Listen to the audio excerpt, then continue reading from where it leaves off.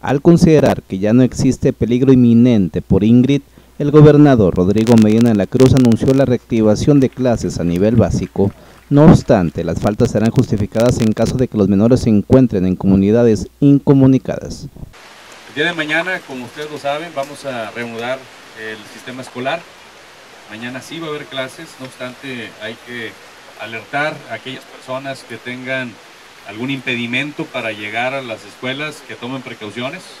Si hay alguna creciente de agua, si tienen que atravesar algún arroyo, un río, es mejor tomar precauciones, pero en términos generales, pues todas las escuelas eh, están abiertas o estarán abiertas y vamos a atender a la población estudiantil.